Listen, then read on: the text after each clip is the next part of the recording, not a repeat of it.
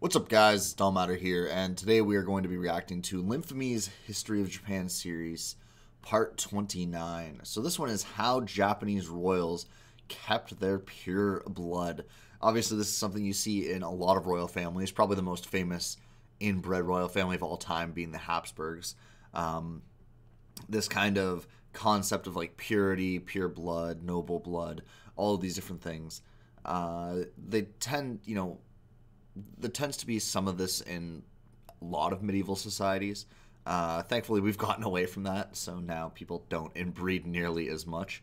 Um, and yeah, so I'm honestly not too sure how the Japanese did this.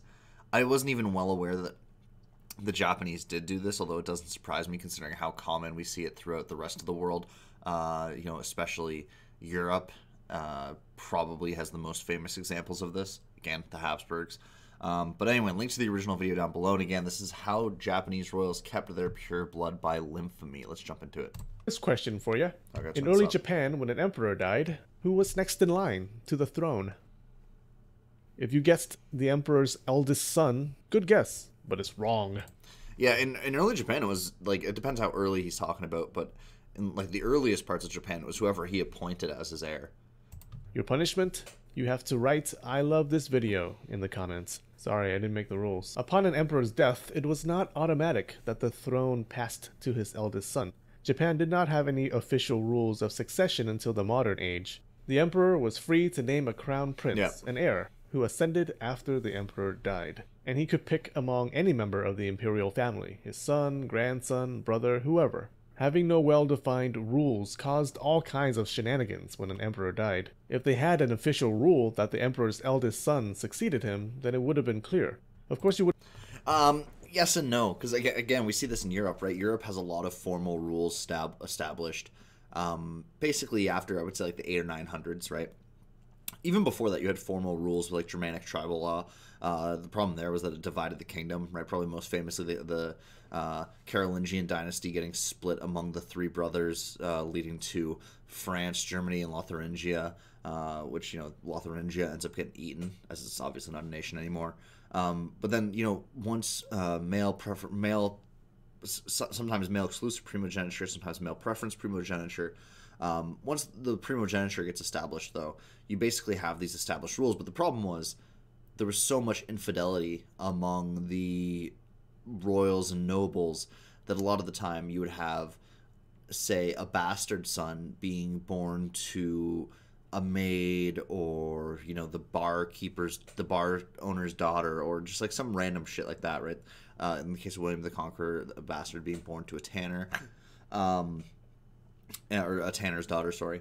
And what ends up happening is you know the oldest son is not actually from the the royal marriage, but then they try to pass the throne on to the the you know the oldest legitimate son, as they were often called. Um, but then the the oldest illegitimate son or bastard child ends up trying to take the throne, or people try to place him on the throne, or all of these other things. Or you have a really young heir, and then like the brother or an uncle or something tries to take over. Um, so it, it's not always perfect. Japan actually had a better job than most nations uh, in, in, this. But that being said, Seoul wasn't great. They still had a lot of issues. So would have still had the occasional murder of the eldest son by his brothers. That's yeah. a given. But in Japan's case, the field of candidates was wider, allowing for more power struggles. The Japanese recognized this problem, of course, but instead of creating an official line of succession and be done with it, different eras dealt with the issue in different ways. Psst, don't miss out. Click subscribe. The Nara period was ruled by what some historians have called the Tenmu dynasty, when the descendants of Emperor Tenmu sat the throne. The Tenmu dynasty had their own solutions to the succession problem, which we'll cover another time. Right now, let's talk about what the Japanese did before. Prior to Emperor Tenmu's reign, they reduced Trevor the number of possible candidates for crown prince. Fewer candidates, fewer power struggles. How did they do this? By keeping the bloodline pure. Yes, it involved incest. it was simple. Just knock up your half sister. Don't quote that out of context in the comments, you bastards. I know what you guys write. I see you. If you don't know the difference between step siblings and half siblings, it's easy. Step siblings, not related. Half siblings? Related. Step siblings share no Yeah. biological parents.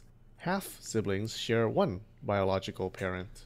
And I hope there's never and you, and you would see this a lot um, in Europe too. Sometimes even with full siblings, right? And again, uh, you know, Europe's probably the most famous. Ancient Egypt, another famous one, right? Ancient Egypt, uh, King Tutankhamun, probably the most famous example in Egypt. I believe his parents were siblings. Um, their parents, I believe, were half siblings, uh, and then one of their parents were cousins, uh, or sort one of their. I think it was their father. His parents were cousins. So they were like three or four generations of inbred, like ridiculous amounts of inbred. Um, and yeah, again, you see you see this all over in ancient history.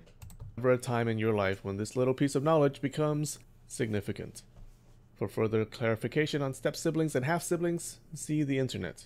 the system they had before Tenmu was something called double royalty, and it worked like this. I hope you're watching the screen and sober. If not, just give up now.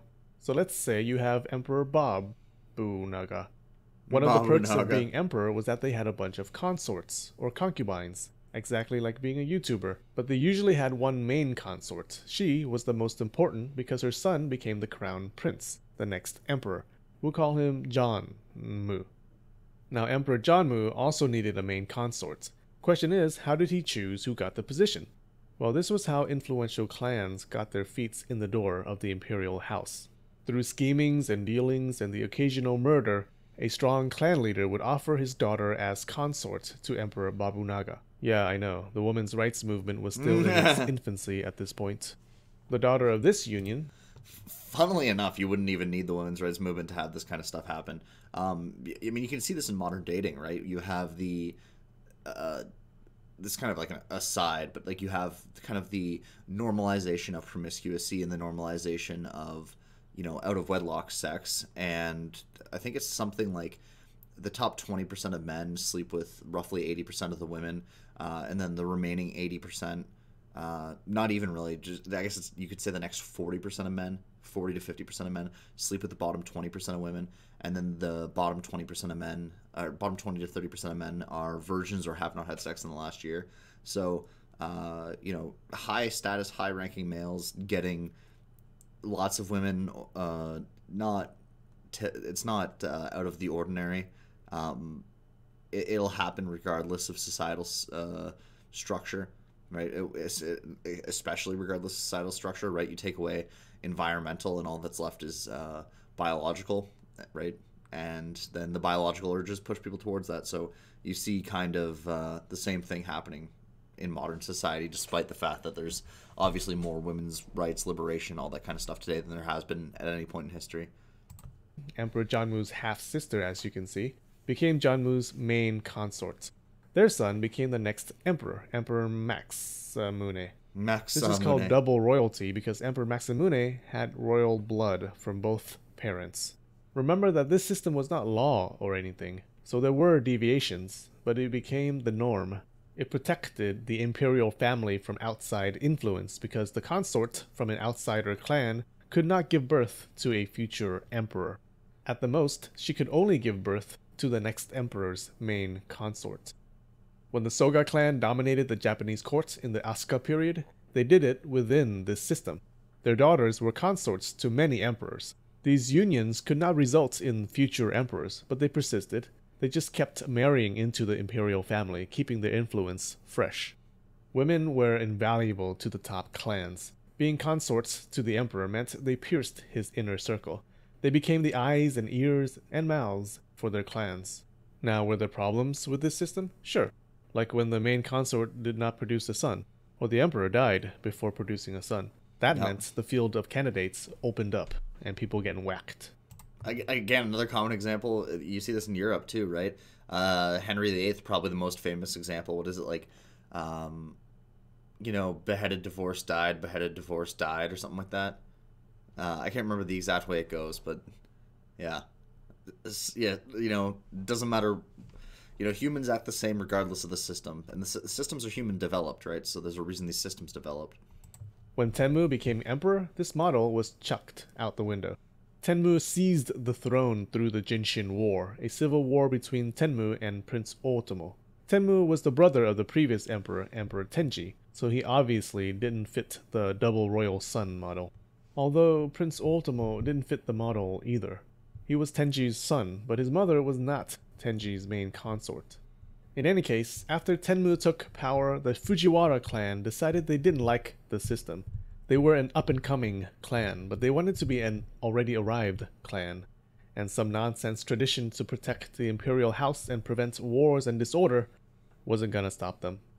Hey guys, thanks for watching. Shout out to two new patrons this week Sam Fieldman. Hello, Mr. Fieldman. And Genova83. We got ourselves a Final Fantasy fan here. And then.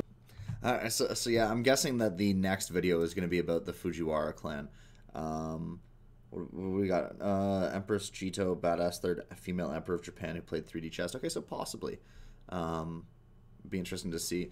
But yeah, the one thing I find like, you know, a lot of the time you hear people talk about how, you know, societal structures arrange it so that like this thing happens or that thing happens, but you know, you can really just look at the evidence and it basically says the opposite, right? And I, find that people do this a lot in history. They they let their ideology cloud reality right? So you can, like, for example, you can look at like modern societies which have uh, very little legal, uh, you know, you know le- most modern Western societies have, have very little legal requirements on like how sexual activity should be engaged when it comes to like how men and women interact with each other outside of like I think incest is banned in most places. Um, obviously, age consent laws, age consent stuff. Um, but outside of those two, there's really not much in the way of legality on how men and women interact with each other. Um, and what you see in modern societies is that you know men and women arrange themselves in largely the same way that they would have arranged themselves in historical societies, right? Where you know a lot of the top men are you know the top ranking men in the social structure, whatever that social structure may be, are sleeping with the majority of women. You know the top 10 20% of men have the majority of women. The next 10 to 20% of men have most of the rest of women and then everyone else has little to nothing.